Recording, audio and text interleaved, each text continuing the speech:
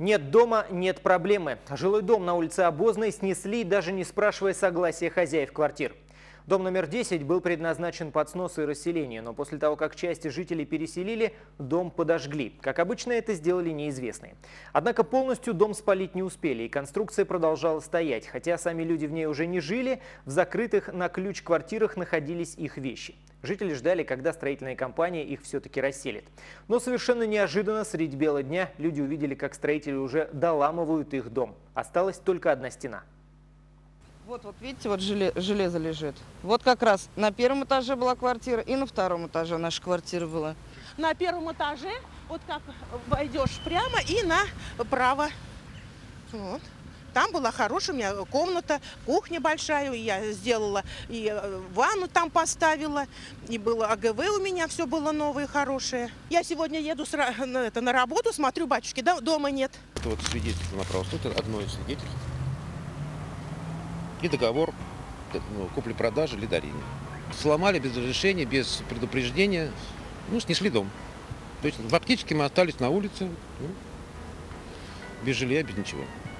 Ни, ни квартиры, ни жилья никакого. Где нам жить? Ничего нет. Когда сгорел дом, нас приютили родственники. Их трое и нас трое. Вот представьте мы, спать ложимся на полу. Мы надеялись на что-то. Ну, надежды у нас рухнули.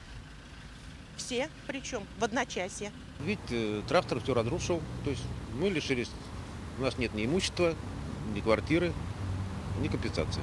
КАМАЗы все уехали, номера э, машин записал. Прораб сидит в машине, Митсубиси спрятался за забором. Тук-тук-тук. Здравствуйте. Мужчина. А что вы не хотите с нами общаться? Они даже заходить не хотят, разговаривать. Ничего не показали, с- э, не сказали ни имени, ни отчества, ни названия фирмы, ничего. Сказали, что их э, прислали от фирмы ломать дом. А экскаваторщик что говорил? Бросил и убежал. Сказали, что нас отозвали до завтра. Пытались выехать, но я не дал, переградил машину в воротах. Удерживая представителей строительной компании, жители вызвали полицию.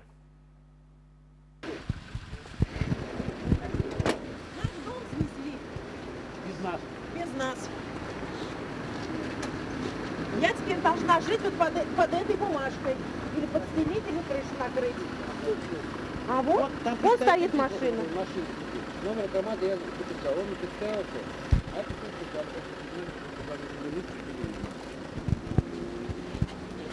Он мне Выключите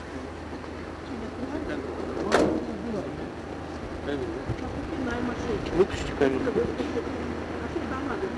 Ну, нам интересно, как послушать Нет, они там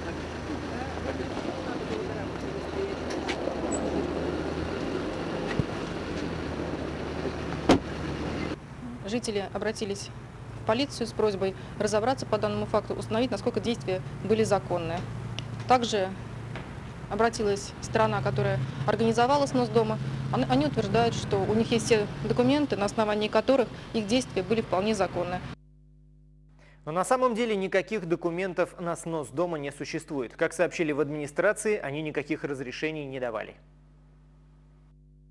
По факту предъявленных документов о том, что жители имеют на руках свидетельство о собственности, о собственности будем обращаться в прокуратуру городскую и районную. Есть подозрение о том, что действия данной компании несколько не укладываются в рамки законодательства.